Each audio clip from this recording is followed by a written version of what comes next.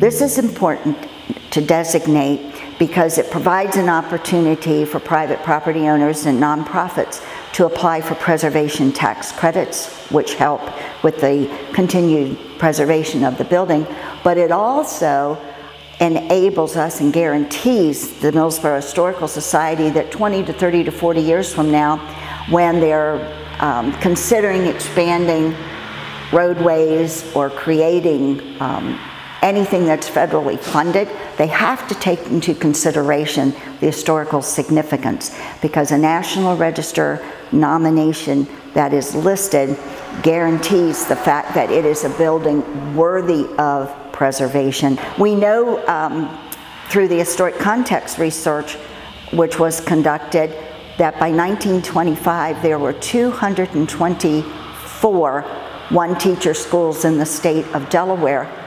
138 were here in the county, and of those, um, the majority were actually built between 1850 and 1899, and that would include the Godwin School. Well, I understand it's rare to have these old-fashioned single, you know, one-room schoolhouses still on the original site, and it's nice to have something unique like that and especially something that's been restored so nicely so you, people could come in and really get a sense of what things were like many years ago. This is the kind of place where you would really learn about what history was, how people really lived back in uh, the late 1800s and early 1900s.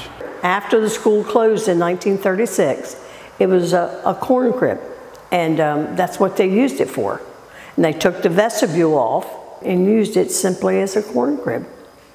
And in 1985, the Millsboro Historical Society started all of its negotiations and networking with local historians, local craftsmen, networking with Sussex County Council, and doing fundraising.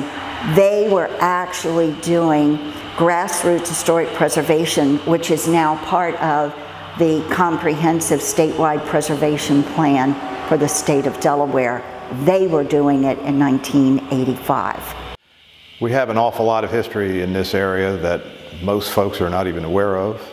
And thank goodness we have people that are willing and dedicated enough to put the effort, make the sacrifice that they do to preserve some of this history.